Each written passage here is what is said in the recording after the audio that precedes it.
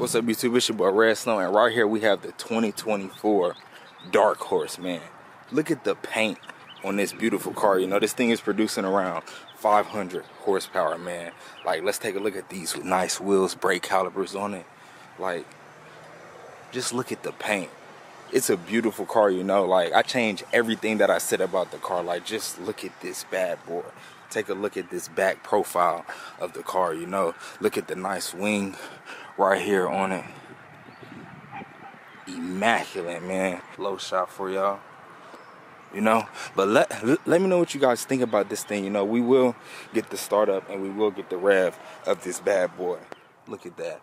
The interior on the dark horse, y'all.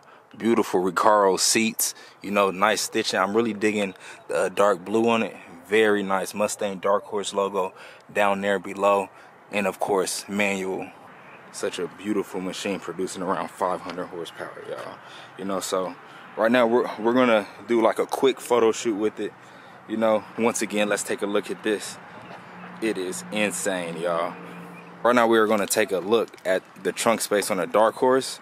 And that is a lot of space. We have nice speakers right there look at this man a lot of trunk space on a dark horse a lot you know, so right now we're gonna get straight to the photo shoot. You know, can't wait to hear this bad boy start up.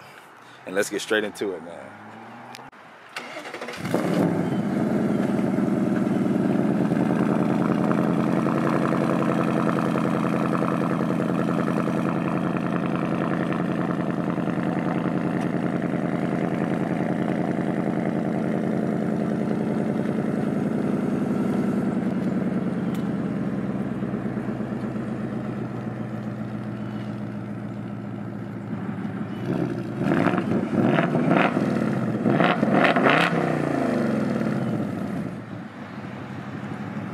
There y'all have it.